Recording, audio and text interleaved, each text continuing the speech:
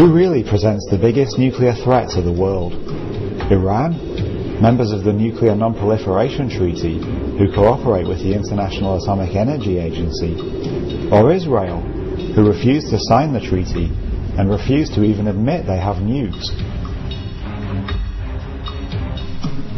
Let's consider the nuclear weaponry Israel is believed to have. Up to 400 atomic and hydrogen nukes including thermonuclear weapons in the megaton range. A range of systems, including neutron bombs, tactical nukes, and suitcase nukes.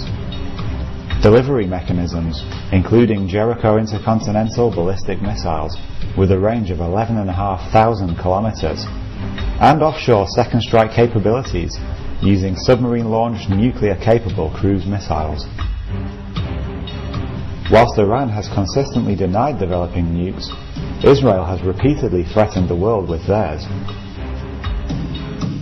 Israel operates a strategy known as the Samson option, a policy in which any threat to Israel will be responded to with massive nuclear retaliation. Samson is the biblical figure who destroyed a Philistine temple, killing himself and thousands of Philistine enemies. An Israeli official is quoted in Seymour Hersh's book as declaring, We can still remember the smell of Auschwitz and Treblinka. Next time, we'll take all of you with us. General Moshe Dayan, a leading promoter of Israel's nuclear program, stated, Israel must be like a mad dog, too dangerous to bother. Martin van Creveld, a professor of military history at the Hebrew University in Jerusalem, said, Most European capitals are targets for our air force.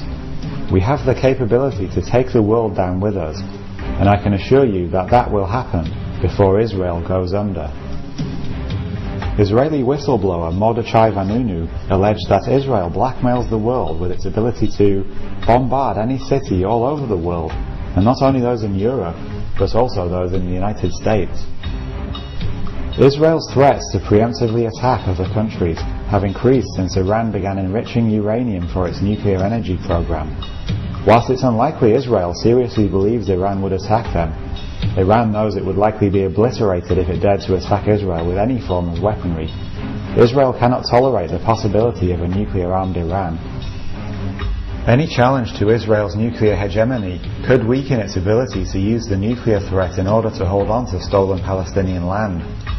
A nuclear-armed Iran might see Israeli citizens leave the country and its occupied territories. Investment could decline, reducing the finances needed to fund and maintain Israel's illegitimate expansion. Israel's large stockpile of nuclear weapons and the fact that many high-profile Israelis have declared that the country is quite prepared to use them if threatened should be of great concern to everyone. Israel and their neocon and Zionist allies in the US government pose a much graver threat to world peace than Iran.